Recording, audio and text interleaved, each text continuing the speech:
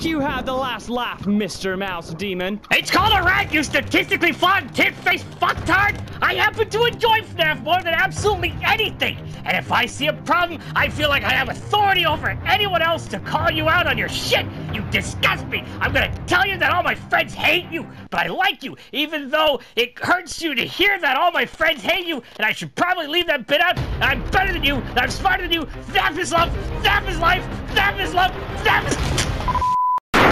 But, oh. you just spoiled my Christmas, Will!